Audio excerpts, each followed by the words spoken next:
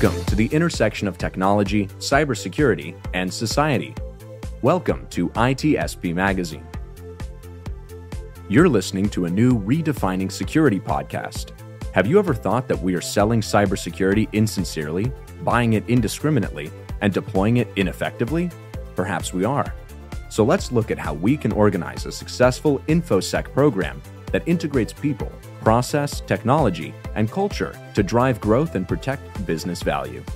Knowledge is power, now more than ever. Imperva is the cybersecurity leader whose mission is to protect data and all paths to it with a suite of integrated application and data security solutions. Learn more at imperva.com.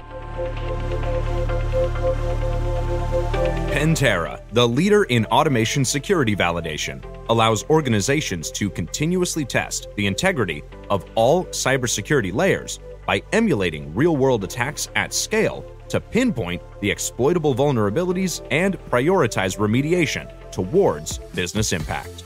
Learn more at pentera.io.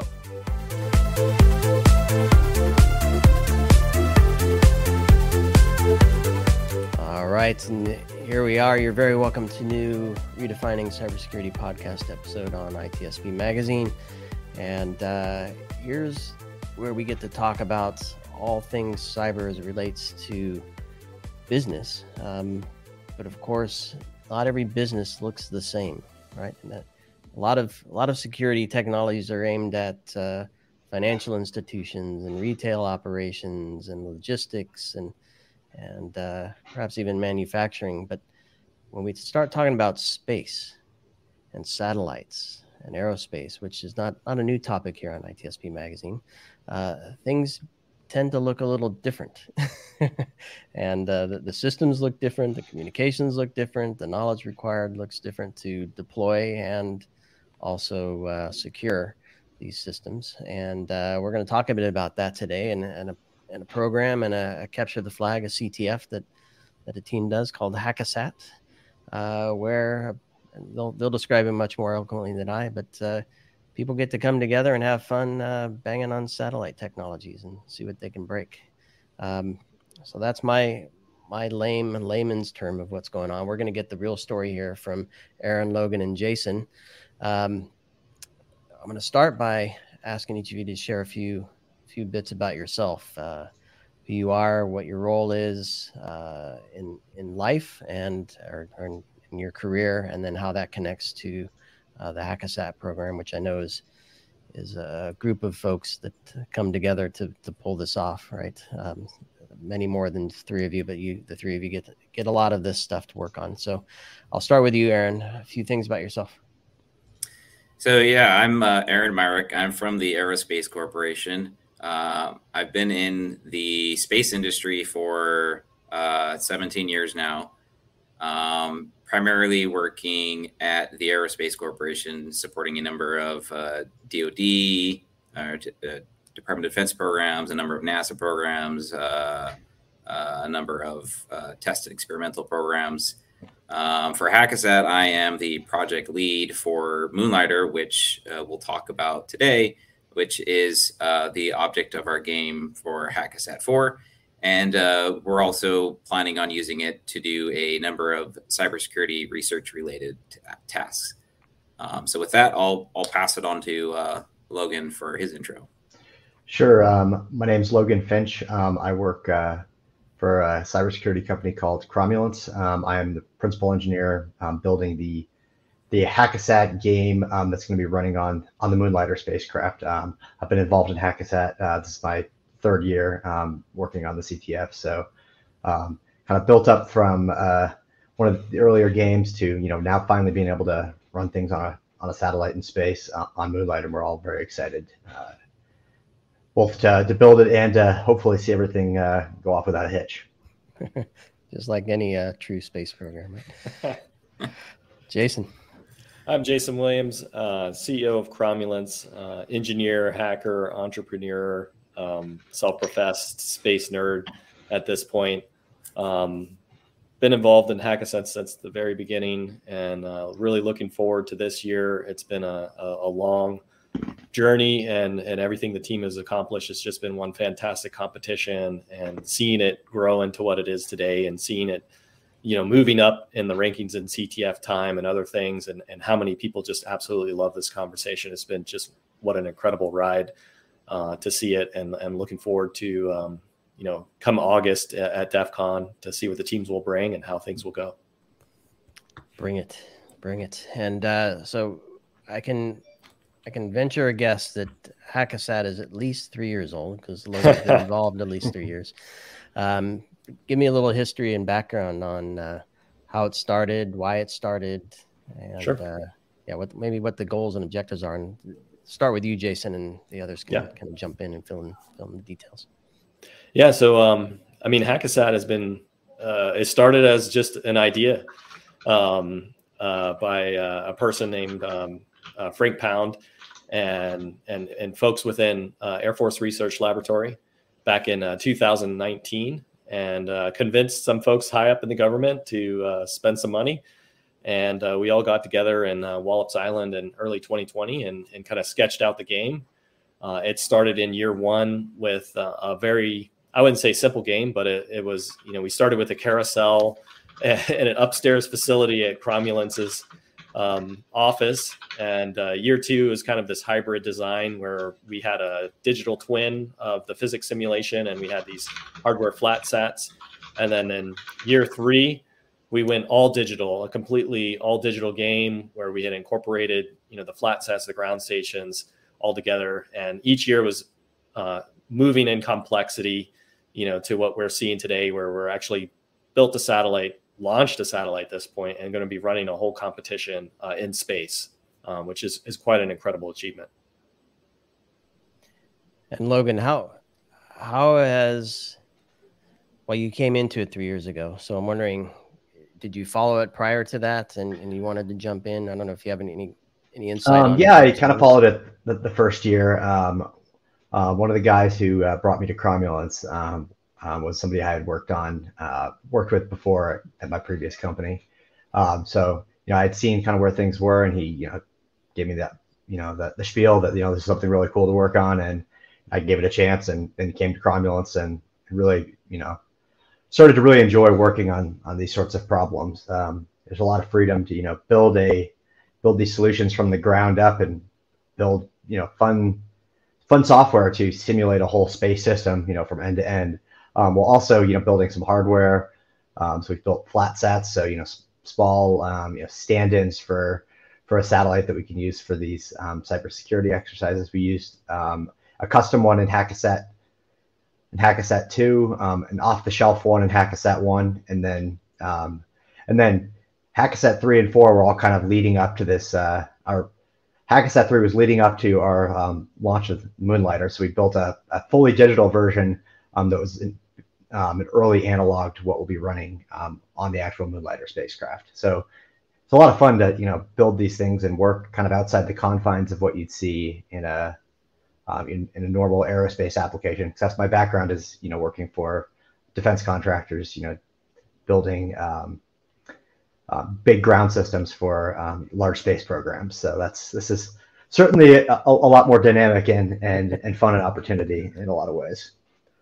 So so for somebody like me uh, that that doesn't have that experience, uh, which would be cool to have. Uh, I'm a little jealous if I'm honest, um, but there's a lot to these environments, right? I don't know if if one of you can kind of paint a picture of what's involved. I can I can picture a data center, a control room connected to that, some cloud stuff through satellites, doing some communications to a, a device, be it a spacecraft or a satellite or something.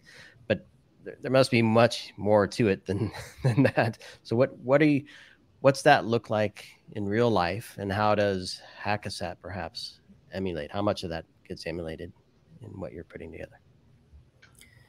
So uh, what what we do in real space systems is we typically have um, three uh, traditional, we call them segments. So, three different things that we're trying to build. So, we have a, a ground segment, um, which is the the command and control, the communication to to and from the vehicle. Um, so that's where you're doing a lot of your your mission planning. Um, you're tasking the vehicle. You're getting data back from the vehicle, and you're disseminating that data in whatever form it may be for that mission.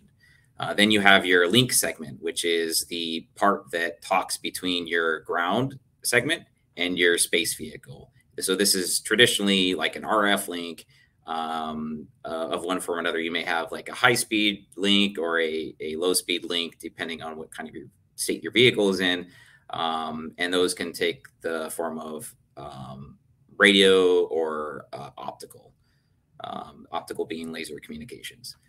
Um, and then you have your your space segment and that's the that's the vehicle that's your sensor that's um, sort of what this whole mission has built itself around. This is the reason why you're going into space whether that's to do earth imaging um, for uh, you know uh, climate research or whether that's providing satcom or uh, some other mission. Gps is another great example.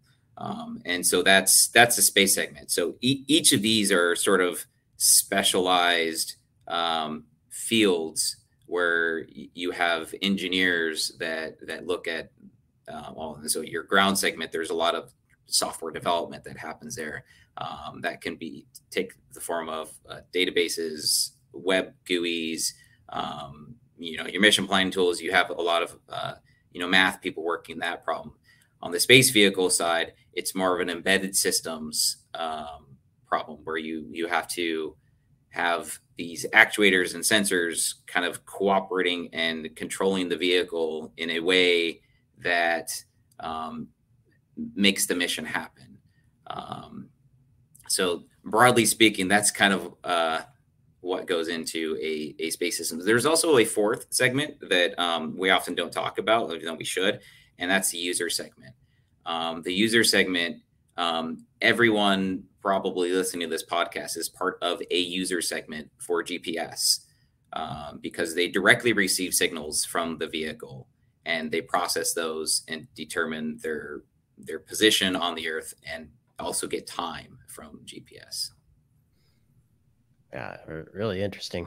And uh, as you're talking and describing that scenario, I was just wondering, are there are there many uh, laser traffic sniffing tools out there and people that are ex- experts in using them. Because um, let's let's be real. I mean, the, these systems are really expensive, right? And uh, and oftentimes, if well, if they're delivering people to space or important things to space, you don't want to uh, you want to jeopardize life, right? Or or the delivery. Um, so a lot of risk involved there. So security is important, which is what we're here to talk about today, right? So securing these systems, and I don't know, our our I, don't know of many laser communications in, uh, in an enterprise IT environment, but there may be some enterprise IT environment type stuff in, in the space systems.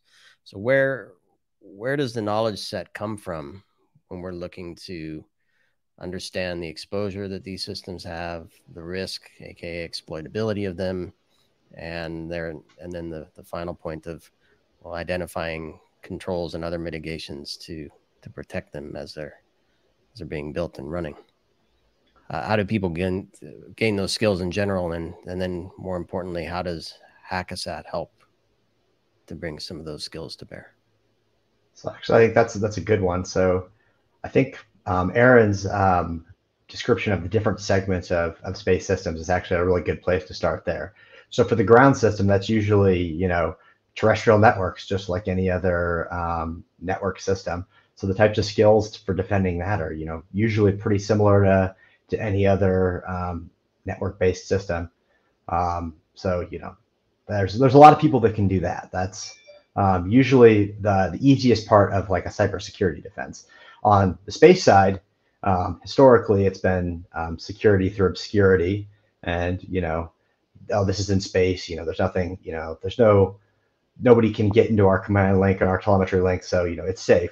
But there, it's an embedded system. So you know, like any other embedded system, there's you know there's all sorts of security practices you can apply, um, and a lot of those things have been um, you know pioneered and um, the state of the art has been pushed forward for you know all sorts of other embedded applications um, in terms of how to you know handle firmware security, um, data security in transit between different components, all that kind of stuff. And you know overall, the space community has been a little bit slow to um, adopt a lot of those things um, for a variety of reasons. But um, you know, I think over you know going forward, that's kind of our goal on Hackasat is to you know show that yes, we can secure the ground, but we also need to, you know, think about space systems, you know, as a whole holistic entity and, you know, make sure we're thinking about all the different parts um, um, from a security standpoint to, to make sure that, you know, we're not missing things that, you know, um, th- that, you know, might be, might even seem obvious, but, you know, historically have just been, um, you know, not addressed. Yeah. And, and Hackasat was one of the reasons for Hackasat was to bridge these communities, like the cybersecurity community and the aerospace community. And and you know one one interesting thing about it to me was just how little I think the cybersecurity community knew about these systems, you know, and how little the aerospace community knew about kind of like the capabilities of the cybersecurity community. And when these two came together, we saw some incredible things happening in Hackasat. We saw, you know, teams that were like performing space operations and like creating operations dashboards and stuff like that in the competition, developing these these tools and employing these tools at speeds that I think fo- folks in the aerospace community just never thought possible. Like they were just like mind blown. I, I remember actually, is it Hackasat two? I think we were we were all there was a screenshot posted. I think it was on Twitter from one of the teams, and it looked very similar to our internal operations dashboard that we had and we were like, did we get hacked? you know, like no, no. This team had created this dashboard during the competition. During the competition, we're talking less than a week. You know, just two days really, and and they were automating um, a lot of their their their operations, their ability to throw exploits. We they they they they were getting telemetry from the other team satellites, and they were they were looking at they knew the battery levels of the other team satellites from their telemetry streams, and they were graphing that in in, in these dashboards. And I and we were all super impressed. And it was a brief moment we had a panic attack, but uh, you know it really showed us the capabilities of these people like extreme programming, these hackers, to to do this. But conversely, we also saw a team that was a bunch of hackers struggle on the space operations side. And and and they thought well who cares? Like you know we're gonna we're hackers. We'll figure it out. And and they they didn't pay attention to to their satellite and maintaining power levels and and, and pointing and attitude control and all these other things. And and Hackasat I really think the best teams merged those two disciplines as two groups together and created like a super team if you will of folks. And and that was just awe inspiring for me to see and, and and it occur. And and for us to put together a competition where that was able, you know, we were able to get that kind of like camaraderie and that spirit together and, and, and two disciplines to really start working together. And, and hopefully that continues in industry and, and government and so forth, um, where people realize that's, that's how you help secure these systems in the future. And we're talking systems that are going to be around like a lot of these spacecraft systems, you know they they get deployed and they they stay around for decades in some cases. And so like that's a that's a hard problem from a cybersecurity perspective. We're used to up upgrading our windows you know operating system or something like that every you know couple of years right? And on a spacecraft you know are you going to upgrade the operating system you know of, of your spacecraft or the firmware like that like constantly do that? They're very risk adverse in that kind of environment. Um, and so you know those kind of con ops don't make sense. And so you really have to think about you know what the attack vectors are and how to secure these systems and it's a different way of thinking you know uh, it definitely is something very challenging because there's a lot more pressure in the design and operation side than there is kind of on these terrestrial systems on these traditional ground networks right that you don't that you have in spacecraft system where it's like i i spent tens of millions hundreds of million dollars building this craft and it's in orbit now. Uh, how do i maintain like the security of that system right and and do that in an economical fashion? So it's a challenge for sure yeah, and Aaron, I, I want your thoughts here because I, I had the, the, fortune of working with a lot of uh, military companies that uh, required terrestrial network security from the company that I was working for at the time, and their their delivery models were extremely complex and extremely long, right? So they had to think of a lot of of these scenarios up front and build systems that could last for a long time, and then the, approval process and and the, uh, the the checklist that vendors had to go through to be part of the the the final delivery that would last for years before that whole, whole thing went through again. And it couldn't be updated by the way once it was signed off on. Um, very different mindset than from i'm a hacker i have no rules i'm going to go for this i can stay up 24 hours i don't care i have uh, i have my my caffeine caffeinated drink on the ready and all bets off right i, I can do whatever i want um, I don't care if the system's up for a day or 10 years if I can access it. So how does how do those two mindsets come together? And maybe this is a good time to, to talk about how you create the Hackasat environment. I don't know if, if you want to start getting into some of the Moonlighter things and how you create that and maybe how those two mindsets come together as you put this this program together. Yeah, so I mean, you're right about you know once we deliver things, um, it's really hard to change things in operations. So uh, you know, one of the things that we should start thinking about doing, and and we are starting to to do, is start drawing those lines in the sand of um, cyber compliance versus cyber operations. So compliance is you know making sure you're you do your vulnerability assessments your uh your your reporting is is done you're logging all the data. Cyber operations is um you know what do you do in the event that something goes wrong? And we need to be able to build systems that can recover from cyber events not only detect and identify but recover from those things um, because for our space systems, we we don't get a chance to launch a new one very often, and they're expensive. They're it, the, the at least the on the defense side, those vehicles are are um, you know they're few and far between, and they take a long time to build. There's a lot of engineering behind them, so we can't um, have it so you know the small things trip us up.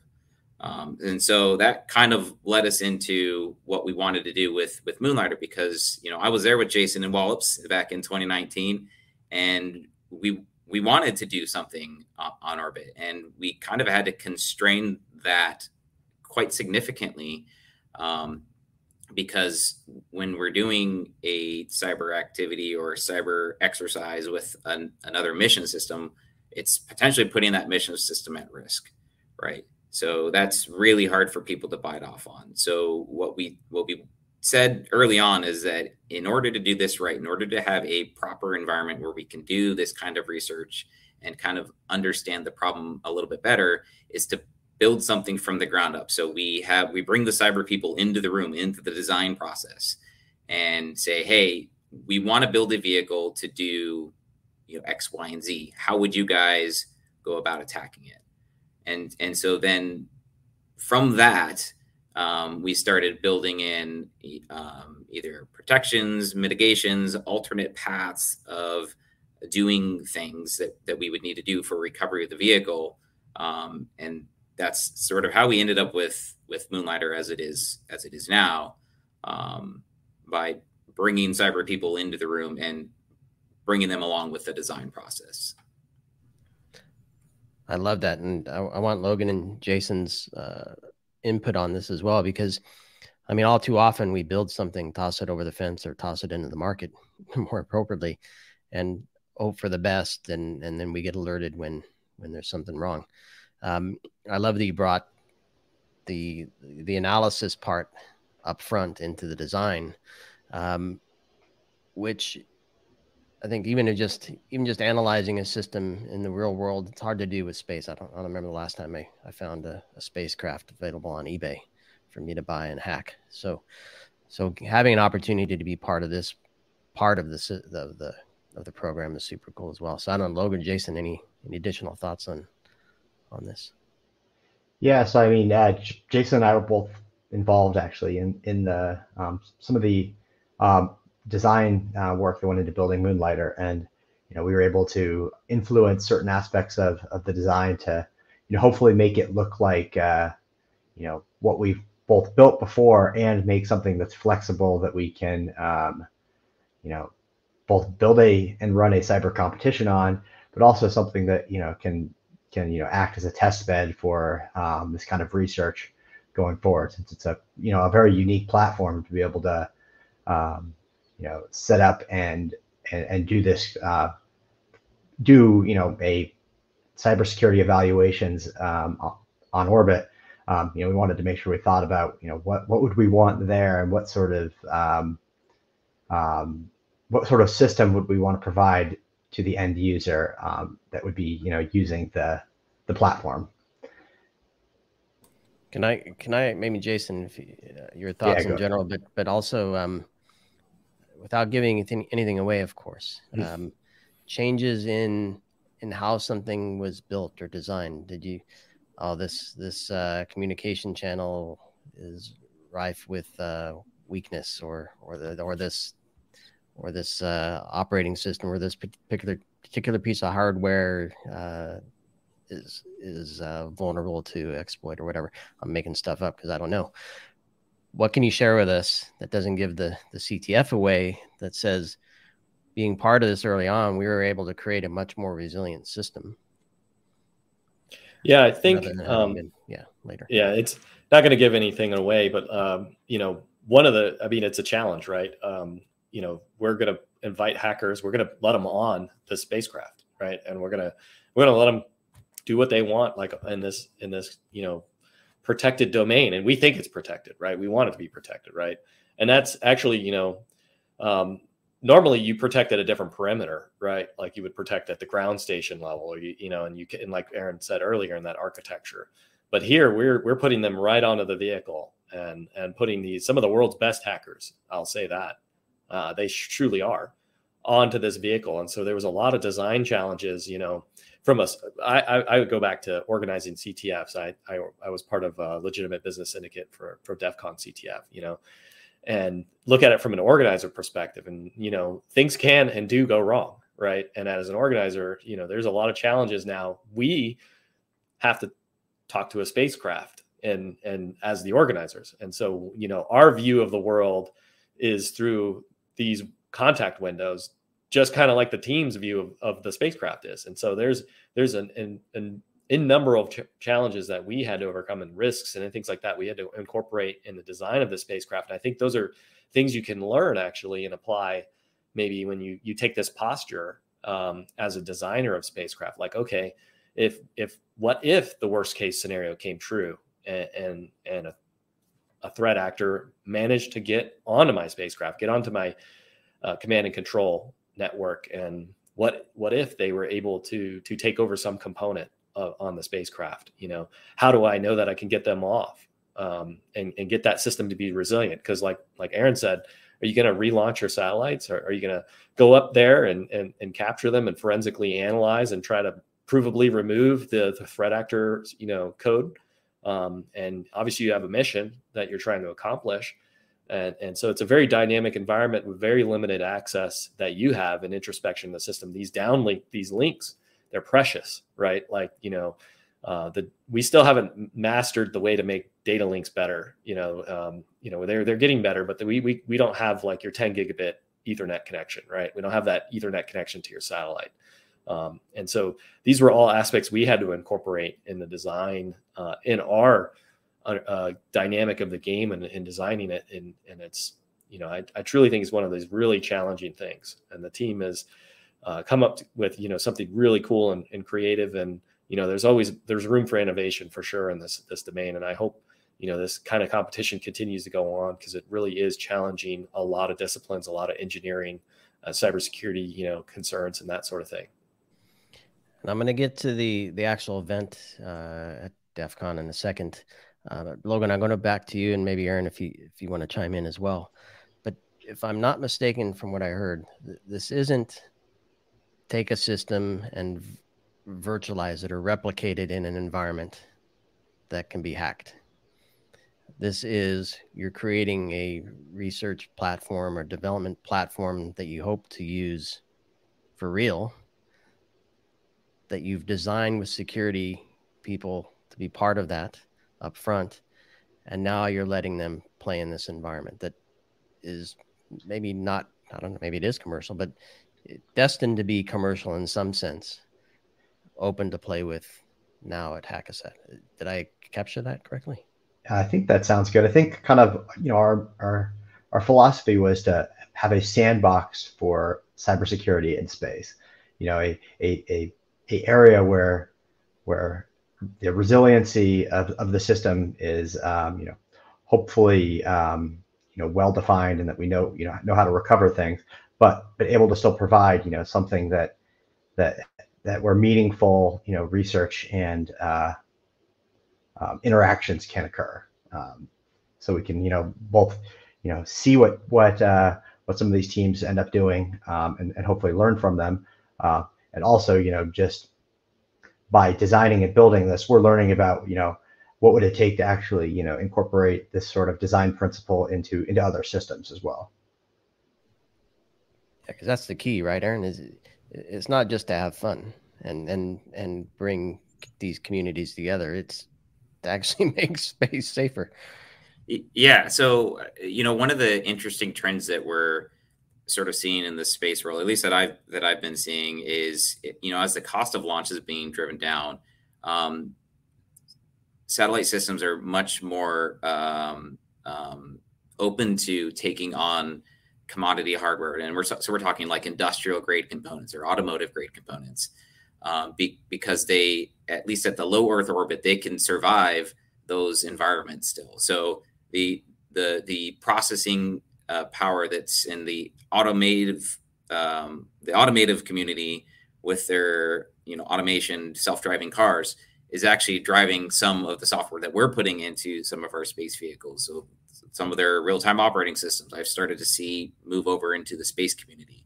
So the the cost of launch is being driven down, but also the access to hardware and software that people have at their fingertips now um, is is much more open. So it's not boutique anymore. You don't need to understand how to code an Ada um, or or Fortran to understand uh, flight software anymore.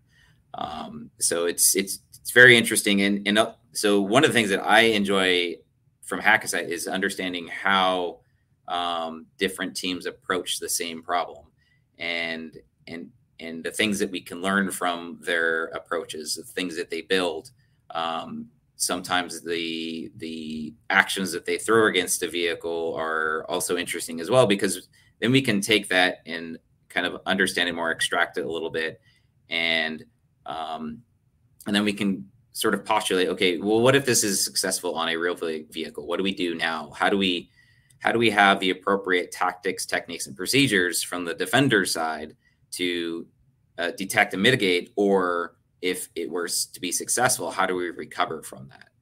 Um, and so that's, you know, things that have often been studied in labs, um, but have not been played out to their full end to end scenario in a live platform. And so there's always, things in simulations and emulations where um, it's it's not quite the same um, as when you do something on orbit on an alive system. I love it. So let's talk about the the actual event now. So the it's a CTF that runs for a period of time. It's all, all of DEF CON, I presume. Is there stuff before DEF CON people can get, get involved with? So talk to me about today. We're early June uh, now through August at DEF CON and beyond if it does. Um, what can people expect? Who can get involved? What's required? What? Uh, sure, absolutely. Give me an overview yeah. of all that stuff. So uh, for Hackasat 4, the qualification event um, took place in early April. Um, that's already happened. So the the qualifying teams for the final event at DEF CON are already chosen um, and they're already uh, uh, we're in the process of getting everything finalized there. Um, so those teams are, you know, selected at this point. Um, so we know who's going to be playing at the actual conference. Um, we're going to have a two full days of competition. Um, uh, I believe it's on the, the, Friday and the Saturday of the DEF CON conference week. Um, to get involved, um, if you're at the DEF CON conference, come and visit the Aerospace Village. we're going to have a, a, a presence there. The competition is going to be happening live um, on the conference floor in the Aerospace Village. Um, so you can come say hi to the to uh, members of the tech team. There'll be people there to do outreach and answer questions, and uh, you can kind of see what's going on. We're going to have screens up with status and um, you know how the competition is going. Um, hopefully, other interesting visuals as well um, to kind of uh, set the scene. Um, and then there'll also be a live stream um, that uh, should be going, I believe, through the AFRL, uh, so the Air Force Research Lab um, uh, YouTube account. Um, that'll also have updates and other information kind of going on throughout throughout the the conference. So uh, another thing that you know, I just will uh, I'll toot Cromulence's horn a little bit here. Um, they they've actually released all of the the previous qualifying challenges that were done for Hackasat one, two, and three. Um, so they have the on a GitHub repo, you can go and and do some of the challenges that people did for for Hackasat qualifications, and and the finals, um, I believe for one and two are up there, along with uh, some of the reporting that the teams do, like how they solve things, how they did things during those events. So that's all hosted online. Jason, anything else? Yeah, I I I think it's interesting to me because you know what's going on behind the scenes with the the infrastructure team and our team is is incredible right now. you know, um, we got a satellite that's uh, when does it go and get you know launched from the ISS? I guess. Um, and then it you know it's it's a real satellite so it's got to go through all the standard things it's got to go through checkout comms check it's got to you know we got to check the health and state safety of the vehicle we've got to you know do all these things um, before the game so so from our perspective it's this this kind of there's a lot going on from the team's perspective you know they're they're they're preparing they're building their tools some might be some some might not i would imagine the teams that want to win they're they're they're kind of gearing up for this um, and and and they're looking back and and and piecing together all the previous games and everything that worked for them and building up kind of their tool chains and and getting their logistics figured out. Uh, and their their plan to go to Vegas, you know, because it's an in person. You know, this is the first time actually for Hackasat. First time we, we've done an in person competition. It's going to be really cool. It's going to be out in Vegas, and packing their bags and flying out to Vegas, and then you know we're going to have some, you know, like we always do. We're going to release data before the game, and then you know game time they're going to come into the room and they're and they're going to connect to our infrastructure, and then, and then it's going to be go. It's going to be go once that ten o'clock starts. Um, and and so a lot goes on on our end, uh, you know, uh, just like the team. So so we're we're working really hard. Sounds like. And before we uh, before we started, you said you your your efforts are probably a lot harder than the, than the teams.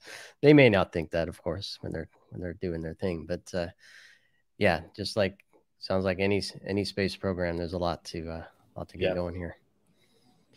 Well, listen. Hopefully, um, hopefully, well, we'll get a chance to see you in the aerospace village. We're uh, huge fans of that, and Steve Luczynski and the whole crew there, and and uh, and love what they're doing. And glad to hear you you have this competition going live within that as part of DEF CON Aerospace Village there. And uh, with any luck, we'll get we'll get to chat with you live from sure. from the event. Uh, of course, following DEF CON uh, recording rules. We're not gonna not gonna break any privacy things there. Uh, mm-hmm.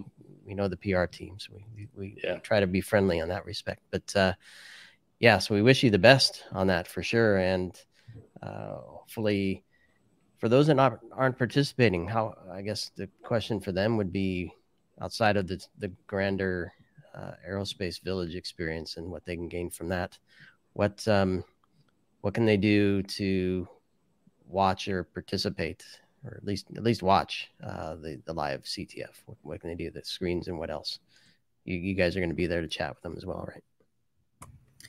Yeah, I would say that um, it follow Hackasat Twitter because they're gonna pro- they're gonna put out all the links for um, all the streams or YouTube events that they do.